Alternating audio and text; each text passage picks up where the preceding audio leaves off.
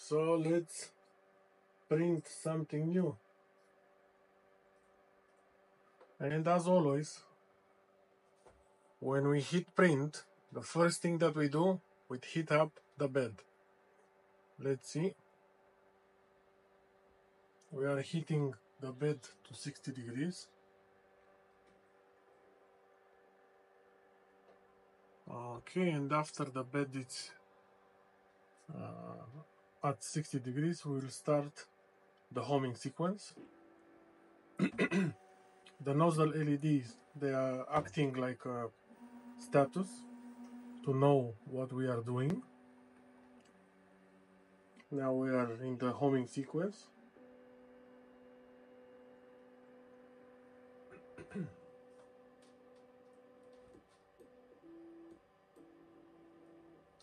After the homing sequence, we will start the QGL.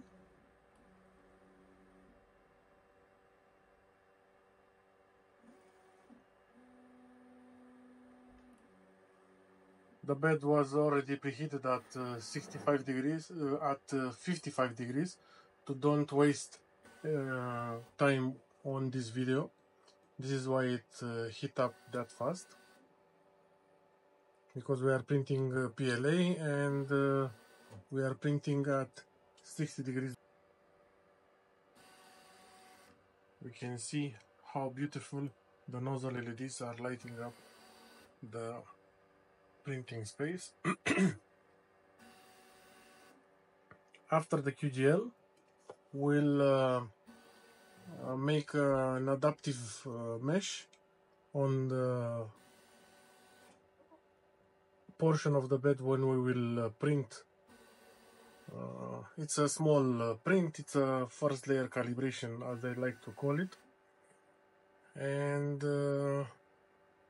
after the bed mesh, um, we will preheat the nozzle at the printing temperature. So first we start with heating up the bed. After heating up the bed, we are making the homing sequence QGL, um, the bed mesh, and after that we are uh, heating up the nozzle. And uh, in all this time, the uh, bed it's uh, at the printing temperature.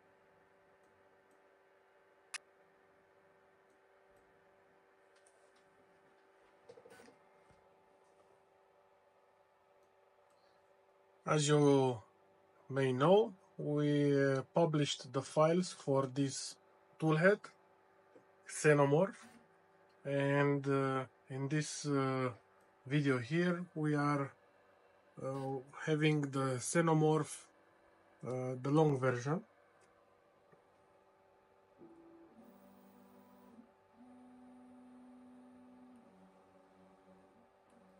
And now we are starting the heating session for the nozzle. The nozzle LED they are turned to red. You can program this at whatever color you want. And after uh, heating up the nozzle, we will uh, make an adaptive purge. And uh, we are starting the print.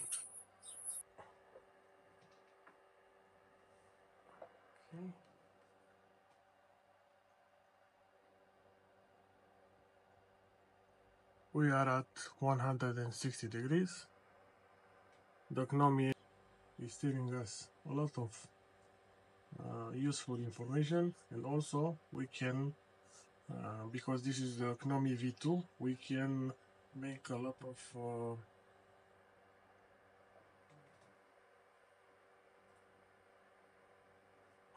we can make a lot of uh, adjustments straight from the display.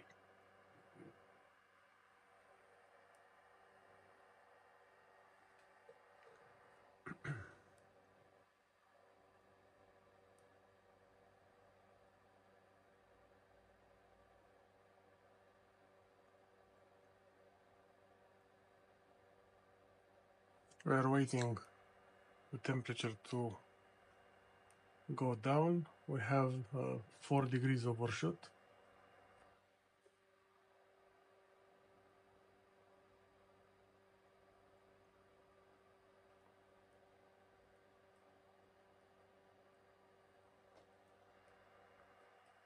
This is PLA, a wet PLA.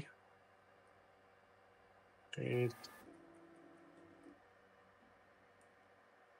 now we are purging and after the adaptive purge that is in close to the print unfortunately we lost the footage. And uh, see you in the next video when we will show you how to assemble the xenomorph. Thank you. Bye